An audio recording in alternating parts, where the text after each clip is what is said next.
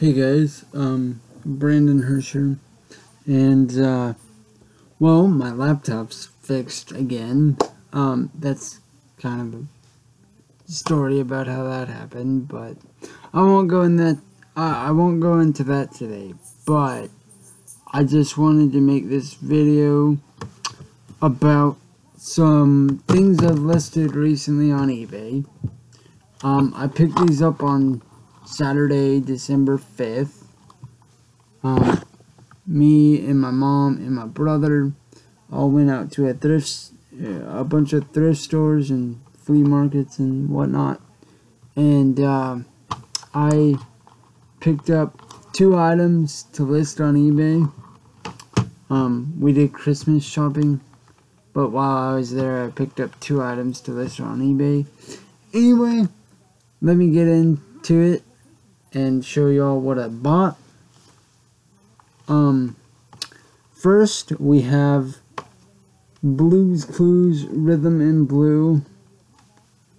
Um, this is not my copy, this is just a uh, copy I picked up. Um, but yeah, so here it is. Here's the front and the spine and the other spine and the top and the back. And then here is the tape. I figure this will sell relatively quickly. That's why I didn't really worry about listing it. And even if, you know, it for some reason, whatever reason, didn't so quickly, I have it set up on eBay to where my listings just automatically relist if they don't sell.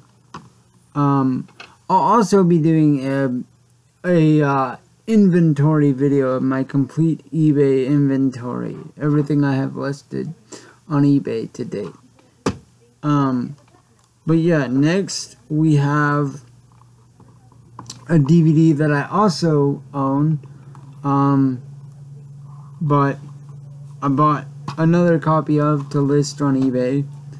Um, here we have Twilight. Here's the front and the spine. In the back. And then, as you can see, uh, there's a sticker on there for Hollywood Video. It was a former rental from Hollywood Video. And then here is the disc.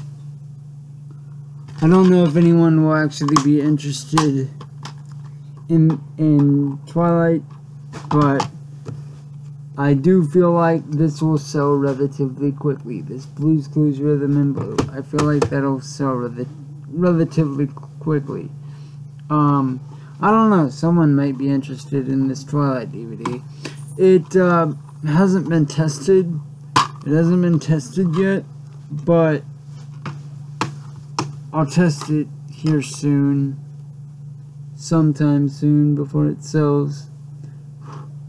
Even if it does sell, I'll probably test it before I actually get it packed up and everything.